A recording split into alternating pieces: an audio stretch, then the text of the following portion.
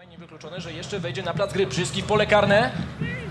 I jeszcze będzie okazja dla Mierzejewskiego. Piłka zagrana do Pietrasiaka. Pietrasiak.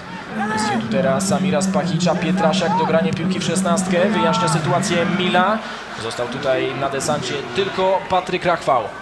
Szkoda, fajna sytuacja i gdyby dość, dokładnie dośrodkował, byłaby szansa na bramkę, a tak niestety stracona pozycja, którą sobie zespół wypracował Polonii. Jeszcze jedna okazja Mierzejewskiego. Mamy rzut rożny dla Polonii Warszawa, co nie spotyka się ze specjalną aprobatą e, publiczności we Wrocławiu. Sprytnie jednak zachował się ofensywny pomocnik e, Polonii Warszawa. 59 minuta spotkania i kolejna okazja z rzutu rożnego dla Polonii. Mierzejewski w pole karne. Jeszcze raz, tylko że z przeciwległej strony będą mieli okazję poloniści. Ale bardzo dobrze dorzucona piłka, widać, że przechodząca obrońców już tam był na zamknięciu zawodnik, ale Kazimierczak to ładnie zasekurował. Widzimy, że przy ławce my widzimy, Państwo jeszcze tego nie widzą, że szykuje nam się kolejna zmiana e, w Śląsku Wrocław, ale o tym za chwilę. Brzyski w obręb 16 i okazja Pietrasiak, gol!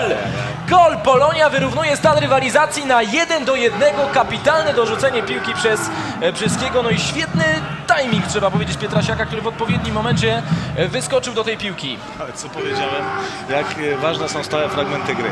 Oglądamy sobie raz jeszcze, jak to wszystko wyglądało. Świetnie wyskoczył w górę. Nie ma tutaj mowy absolutnie o e, żadnym faulu, żadnym przewinieniu Dariusza Pietrasiaka. On po prostu był no, mało precyzyjnie kryty.